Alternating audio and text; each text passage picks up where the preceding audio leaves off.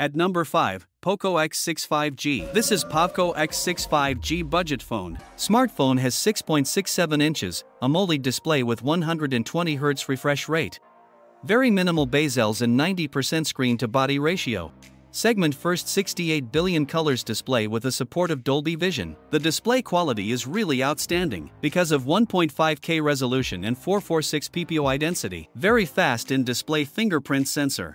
1800 nits of peak brightness provide clear view in sunlight condition. Phone has plastic back and weight is only 181 gram. IP54 certified, which protects smartphone from dust and splashes. The phone comes with 7s Gen 2 processor.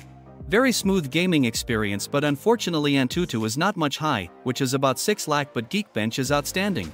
The phone HA's 64 megapixel main camera, 8 megapixel ultra-wide and 2 megapixel macro lens. These are some photography sample of POCO X6. You can see the images which are very clear and colors are very crispy. Photos in daylight condition are amazing. You can record max 4K video with its main camera. Check OIS on left side video sample. The video is really stable because of OIS support. On front phone has 16 megapixel selfie shooter. It runs MIUI 14 based on Android 13 and upgradable to HyperOS based on Android 14. Pack with 8 and 12 gigabits of RAM with UFS 2.2 storage type. Phone is powered by 5100 mAh battery and 67 watt fast charger. At number 4, Realme 12 Pro Plus. This is Realme 12 Pro Plus 5G. Smartphone has 6.7 inches AMOLED display with 120Hz refresh rate and 240Hz touch sampling rate. It also support 2000Hz instant touch for gaming. It has 1 billion HDR display with 394 ppi and 1080 resolution display. For security needs it has in-display fingerprint sensor and with Asahi Dragon Trail Star 2 glass protection. It has 950 nits peak brightness which provide clear display under sunlight condition. Very beautiful golden fluted bezel. 3D jubbly bracelet and vegan leather on back. The weight is 196 gram which feel heavy. IP65 rating protect device from dust and splashes. This phone has 7s Gen 2 processor and the Antutu score is good, which about 6 lakh plus, and Geekbench is also good. Very smooth gaming experience on extreme graphics.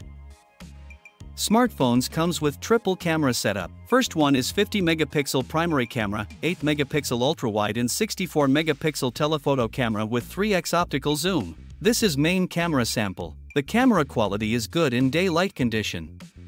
Colors are very sharp and punchy. According to price range Realme delivers good quality camera.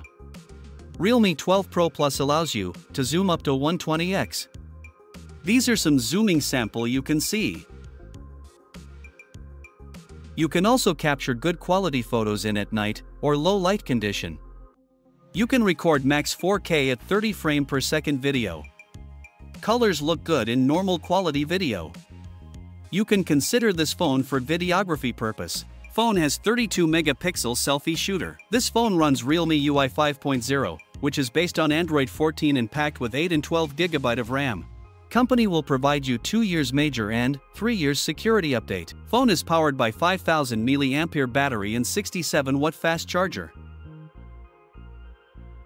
At number 3, Note 13 Pro 5G. Smartphone has 6.67 inches, a AMOLED display with 120Hz refresh rate, protected with Gorilla Glass Victus on front and IP54 as well. Segment first 68 billion colors display with a support of Dolby Vision. 1.5K panel and 446 pixel density is really outstanding combination. 1800 nits of peak brightness provide clear view in sunlight condition. Phone has under-display fingerprint sensor which is very quick and responsive. Back panel of the phone built with frosted glass and weight is 187 gram. Very slim 8mm thickness. Phone packed with Snapdragon 7s Gen 2 processor with Adreno 710 GPU. Antutu is not much high as I was expecting over 7 lakh but it has 5 lakh plus. But the Geekbench performance is much better. Phone has 200 megapixel main camera with OIS support. 8 megapixel ultra-wide and 2 megapixel macro lens. The main camera captured good quality POHOTS. Colors are really crispy and deep. These are some samples captured with Note 13 Pro. Camera enable you to zoom up to 4x, which is really good. You can record max 4K video with it main camera. Video quality is good and not much shuttered. It has 16 megapixel selfie shooter. It runs MIUI 14 which is based on Android 13 with UFS 2.2 storage type. Phone is powered by 5100 mAh battery and 67 watt charger. At number 2, Redmi Note 12 Turbo.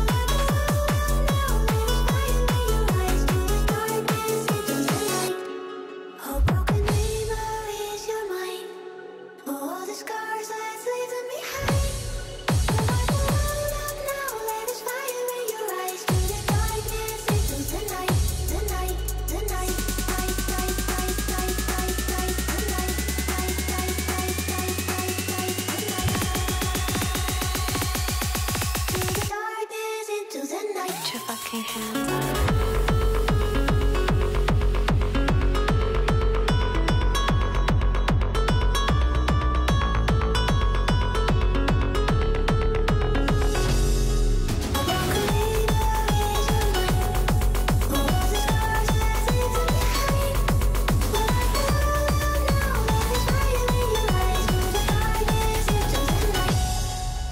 number 1, POCO F5 5G.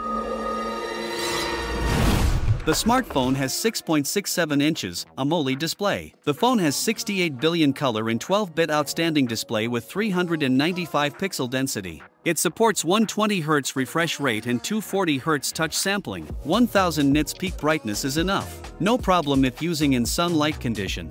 Also support HDR10 Plus and Dolby Vision as well. Plastic back and 181 gram weight does not feel heavy. Side-mounted fingerprint is really quick. IP53 rating protect from splashes and dust particles. 3.5mm jack also available for headphone users. Phone has 7 Plus Gen 2 processor, Antutu is really outstanding in this segment.